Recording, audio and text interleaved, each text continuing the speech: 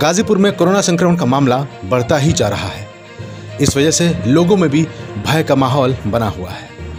रविवार, यानी 14 जून को गाजीपुर में कोरोना वायरस संक्रमण के चार नए मरीज़ मिले हैं। इनमें दो पुरुष और दो महिलाएँ हैं। आइए आपको इन तीनों मरीजों के बारे में विस्तृत जानकारी देते हैं।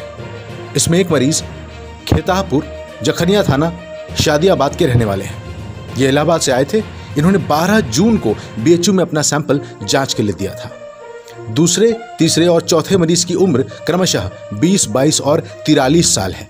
ये करदह कैथोली ब्लॉक मर्दा गाजीपुर के हैं। इनकी ट्रैवल हिस्ट्री मुंबई की सामने आई है। ये ट्रेन से मुंबई से वाराणसी आए थे। इसके बाद सरकारी बस से गाजीपुर और फिर टेपू रिज़र्व करके अपने घर।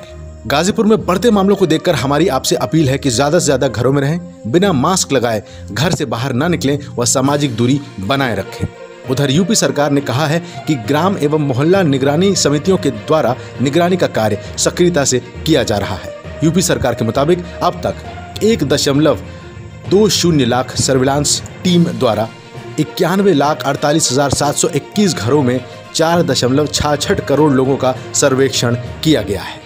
प्रदेश के 75 जनपदों में 4,948 कोरोना के मामले एक्टिव हैं। अब तक आठ हज़ार दो सौ अड़सठ मरीज़ पूरी तरीके से उपचारित हो चुके हैं। यूपी सरकार से मिली जानकारी के मुताबिक प्रदेश में वर्तमान में कोरोना संक्रमण का रिकवरी दर साठ दशमलव सात दो प्रतिशत से अधिक है। गाजीपुर की ऐसी ही खबरों के लिए हमारे यूट्यूब चैनल को सब्सक्राइब करें और बेल आइकन को ज़रूर दबाएँ।